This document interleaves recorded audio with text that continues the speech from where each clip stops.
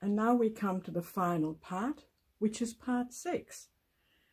These are the four borders and they are going to frame the quilt.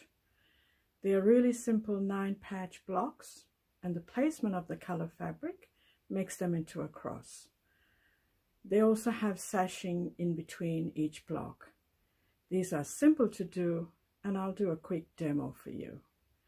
Once you've done them and you put your quilt together, you find the instructions will be in the pattern. Don't forget when you finish your quilt and you've quilted it, please send me some photos. I'd love to see how you've all gone on this particular quilt. This is part six and this is the final border. So the final border is made up of these blocks, which are basically a nine patch, and they have sashing on either side of them.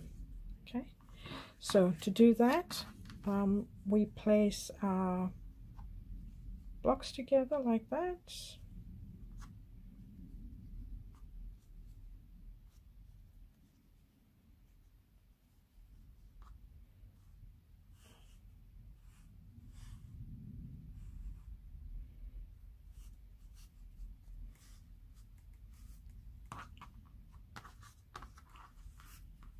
I have to try and make sure I get them in camera range, which I'm not succeeding here. So I'm going to move the camera up a little bit so that you can see it. There we go.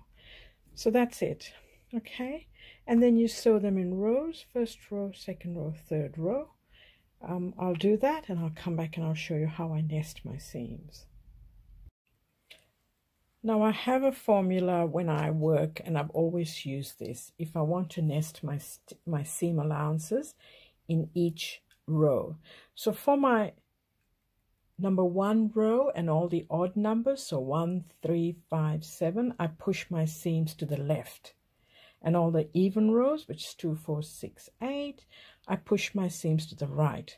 So that way, when you put your pieces together, you will see they just will nest into each other that way. So that when you sew them, and that one too, is just going to nest against each other. Okay, I'll take this to the uh, machine. I'm going to sew it and then I'll bring it back and show you.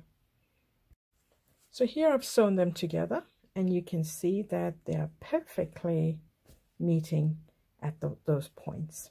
Okay, now I'm going to flip it over and don't be surprised. You'll see that I've opened the seam allowances because I find that it gets too lumpy if you have that seam allowance pushed on one side. You know, there's a big lump on one side. Now, don't tell those important quilt teachers that I've told you this because they'll be upset that I'm doing this. But I think this is the way to go.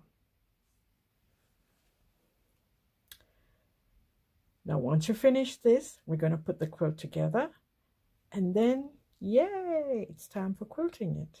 And then it's ready.